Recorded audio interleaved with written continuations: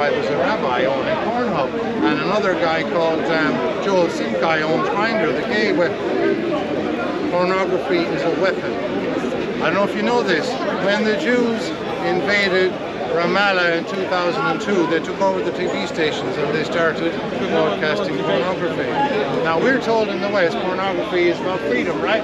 You're not free if you can't, you know, go online. Now, I don't think the Jews were trying to bring freedom to the Palestinians. What they did think was we can destroy the morale of the Palestinians if we get them watching porn. That's how bad it is.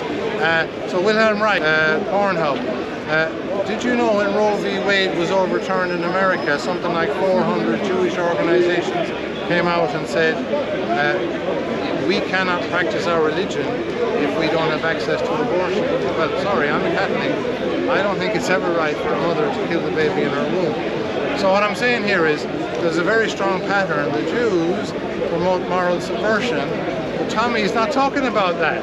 He wants to say it's your fault. And I say, Joel Simkhai, um, Solomon Friedman, Wilhelm Reich, Magnus Hirschfeld, the father, the father of trans, uh, transgenderism.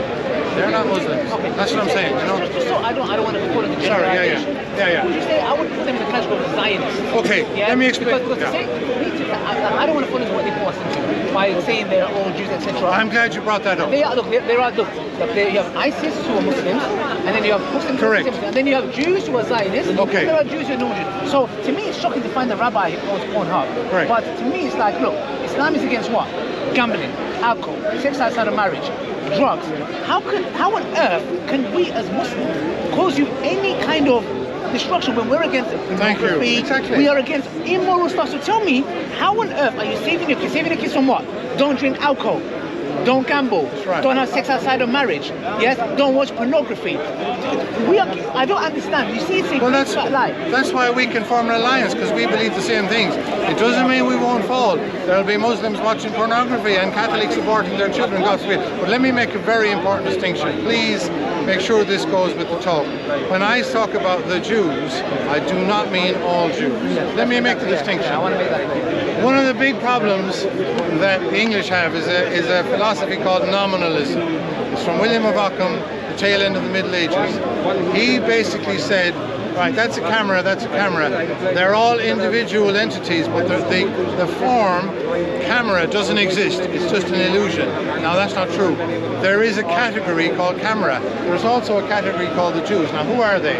Well, when we say as Christians the Jews killed Jesus Christ, do we mean all the Jews living in Palestine at the time? No. It means the Jewish leaders and those who followed their lead. It's a real category, it's an entity that exists in the world, but it does not include all Jews. I, we admire the Jews who go on the Palestine marches. Yeah, of course. The Jews- Rabbi, Rabbi Ben from Stanford, they Thank you. But we have to use the term the Jews because it really exists. What's the Jews in America? It's AIPAC. Uh, in other words, it's a political entity that claims to work for Jewish interests, and it really exists, but it doesn't include all Jews, but it does exist. So when we say the term the Jews, we mean it real. It means organized Jewry. It's Zionism, but it's also the moral subversion I spoke about. That's a key. That's a key distinction. you know? Sean, thank you very much for your time. God bless you, brother. Thank you, and uh, keep up the good work. Muslims and Christians Yes. and, and Jews come together against Zionism, inshallah. That's what I want to say. Assalamu alaikum wa rahmatullahi wa barakatuh. Thank you very much. Thank you once again. Sorry for making you wait. brilliant. No, no. Thank you. It's good. I appreciate that. Keep up the good work. Destroy his faith, get him masturbate. So I think that explains why there's a rabbi owning Pornhub and another guy called um, Joel Simkhai owns Grindr, the gay web.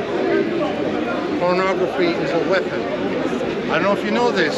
When the Jews invaded Ramallah in 2002, they took over the TV stations and they started broadcasting pornography. Now we're told in the West pornography is about freedom, right?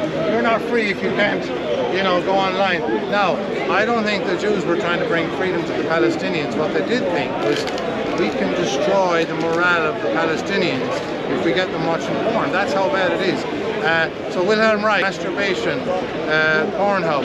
Uh, did you know when Roe v. Wade was overturned in America, something like 400 Jewish organizations came out and said, uh, we cannot practice our religion if we don't have access to abortion.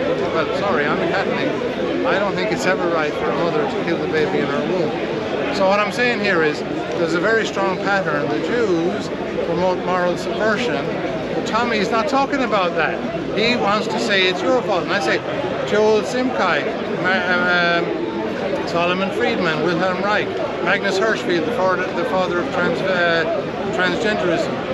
They're not Muslims. Okay. That's what I'm saying, you know? Just so I don't, I don't want to put it in Sorry, yeah, yeah. Yeah, yeah. Would you say I would put them in the category of Zionists? Okay, Yeah, let me explain. Because, because Yeah. say, I, I don't want to fall into what they force into by saying they're all Jews, etc. I'm glad you brought that up. They are, look, there, there are, look, there, you have ISIS who are Muslims, and then you have Muslims Correct. Muslims, and then you have Jews who are Zionists, Okay. and there are Jews who are non-Jews. So to me, it's shocking to find a rabbi who owns Pornhub. Right. But to me, it's like, look, Islam is against what?